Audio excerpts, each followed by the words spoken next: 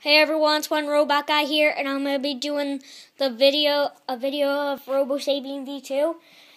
Alright, let's turn him on. Self-diagnostic initiated. I am WowWee Robotics model RSV2. This is black and silver one. I I hear got for my, something. Sonic sensors shut down. got it for my birthday. He um has movable arms. He can bend his waist. He can move his head in it mostly any any direction except that way.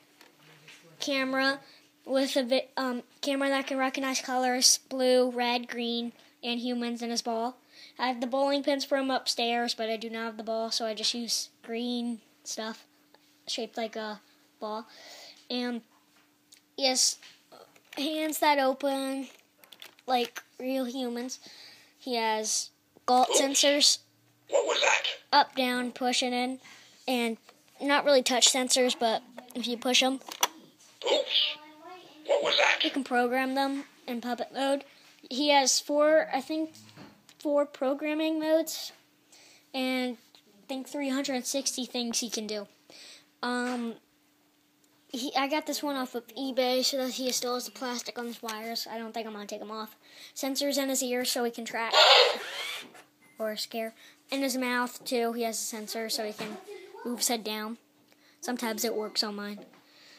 He, he can dance too. Controller right there. It looks like a game controller to me. Understood.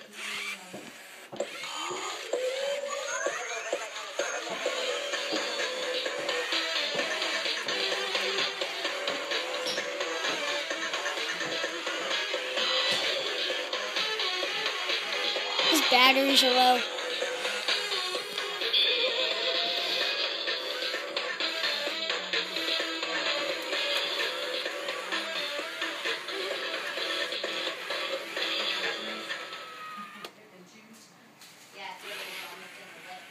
I hope nobody saw that. But we did.